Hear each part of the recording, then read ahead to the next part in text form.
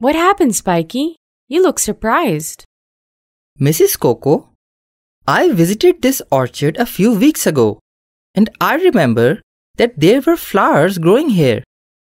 Now there are fruits. What happened here? Nothing's happened. It's just a natural process through which flowers turn into fruits. That sounds amazing. Do flowers lay fruits like hens lay eggs?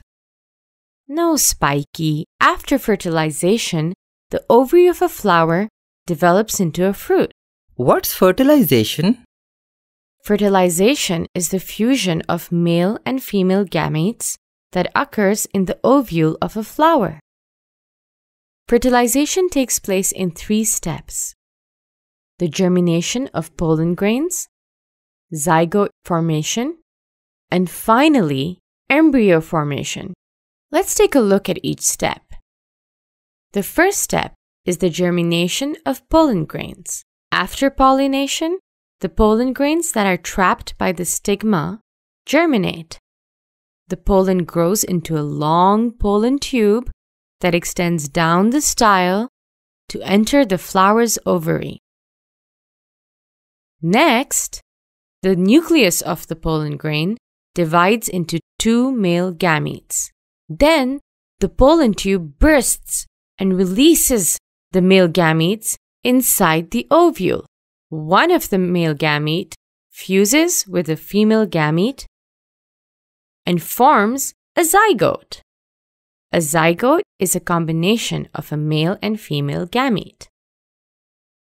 The zygote divides many times before forming an embryo. An embryo is a baby plant that grows inside a seed. Finally, during the end of fertilization, the embryo is covered by a tough outer covering called a seed coat. Hmm, but it does not look like a fruit at all. You're right, Spiky. After fertilization, several changes take place in a flower. For instance, the flower's sepals, petals, and stamens dry up and fall off.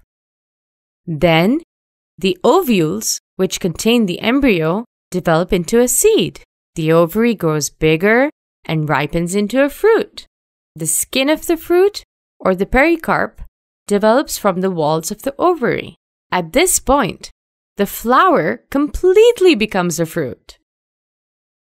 Did you know many people think that tomatoes, brinjal, and cucumbers are vegetables, but they're actually fruits. Can you guess why? Because they develop from the ovary of a flower and contain seeds.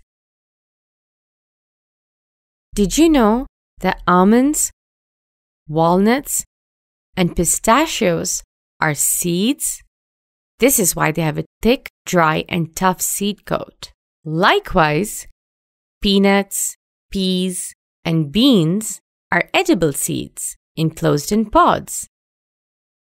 Almost all flowering plants produce fruits, but not all their fruits are edible, such as the fruit of a sunflower. Let's summarize. Fertilization is the fusion of male and female gametes. After fertilization, a zygote is formed which grows bigger to form an embryo. Then, the flower undergoes several changes and the ovary develops into a fruit. As the ovary grows bigger, the ovules develop into seeds.